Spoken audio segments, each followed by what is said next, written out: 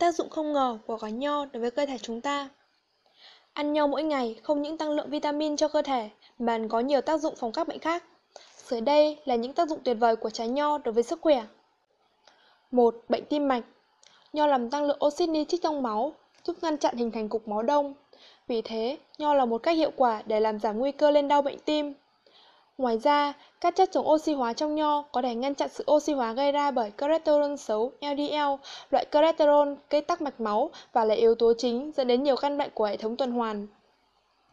Nho còn có chứa nhiều flavonoid, chất chống oxy hóa rất mạnh. Hai loại flavonoid chính trong nho chính là cholesterol và quercetin. Hai loại này có tác dụng làm giảm các tác động tiêu cực của các gốc tự do và làm giảm tác dụng của cholesterol LDL lên các động mạch. Chúng còn có thể làm giảm sự số lượng các mảng bám thành mạch và lọc bỏ các chất độc hại ra khỏi dòng máu. 2. Đau nửa đầu Nước nho chính là một phương pháp chữa đau nửa đầu rất hiệu quả tại nhà. Bạn nên uống loại nước này vào buổi sáng sớm, không nên pha loãng với nước.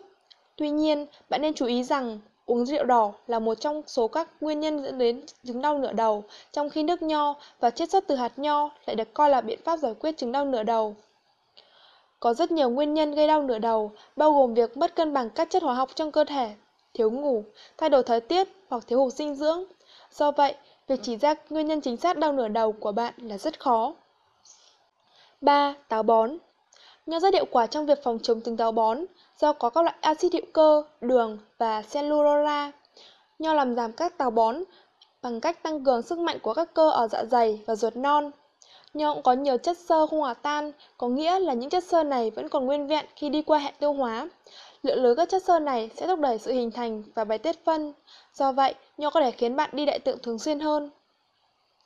Tuy nhiên, nếu bạn bị tiêu chảy hoặc phân lỏng thì không nên ăn nho. Chất xơ không hòa tan trong nho không có tác dụng hấp thu nước trong phân và nho không có nhiều chất xơ hòa tan. 4. Khó tiêu Nho đóng một vai trò quan trọng trong việc làm giảm sướng khó tiêu. Nho làm giảm sức nóng và có thể chữa chứng khó tiêu cũng như làm giảm sự kích ứng ở dạ dày. Nho cũng có thể hỗ trợ điều trị một số vấn đề tiêu hóa khác bởi được coi là một thực phẩm nhẹ, dễ tiêu hóa với đường ruột. 5. Mệt mỏi Thiếu máu là vấn đề của rất nhiều người gặp phải và ăn nho có thể duy trì sự cân bằng sắt và các chất khoáng trong cơ thể. Sắt là một chất khoáng rất cần thiết cho nhiều hoạt động của cơ thể. Thiếu sắt có thể khiến bạn trở nên chậm chạp, lờ đờ, tâm trí bạn cũng không hoạt động nhanh và hiệu quả. Tuy nhiên, chỉ có các loại nho màu sáng mới chứa nhiều sắt, còn nho tối màu có thể không cung cấp lượng sắt mà thậm chí còn có thể làm giảm lượng sắt của bạn. Uống nước nho có thể cung cấp thêm năng lượng cho cơ thể gần như ngay lập tức. 6. Sỏi thận Nho có thể làm giảm đáng kể nồng độ axit uric và loại bỏ axit ra khỏi hệ tiết niệu. Do vậy, làm giảm áp lực lên thận. Do nho chứa nhiều nước nên sẽ kích thích đi tiểu, giúp loại trừ axit uric còn tích tụ trong cơ thể ra ngoài. 7. Mỡ máu Nho có một thành phần tên là Protubin có tác dụng làm giảm cholesterol trong máu. Protubin có tác dụng liên kết chặt chẽ với resveratrol, chất chống oxy hóa và làm nho có màu đỏ tím.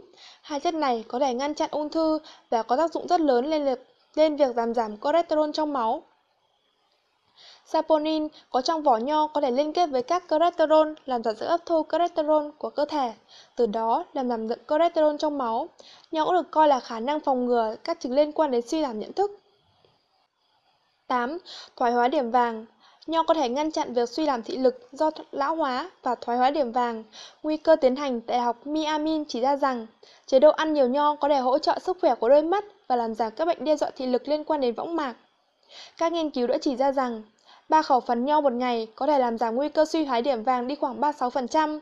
Cả nho và rượu vang làm từ nho có thể làm giảm tình trạng suy giảm thị lực theo thời gian. 9. Hệ miễn dịch Nho không chỉ chứa nhiều flavonoid và các loại chất khoáng mà còn chứa rất nhiều các loại vitamin. Nho có chứa lượng lớn vitamin C, K và A, giúp tăng cường sức khỏe của nhiều hệ cơ quan trong cơ thể, đặc biệt là hệ miễn dịch. Điều này có nghĩa là bạn sẽ ít bị ốm, ít bị cảm lạnh, cũng như ít gặp phải các vấn đề về sức khỏe hơn. 10. Các thành phần chống ung thư Nho được chứng minh là có các thành phần chống ung thư do chúng tác dụng viêm của resveratrol, đặc biệt là các ung thư đại, trực đại tràng và ung thư vú.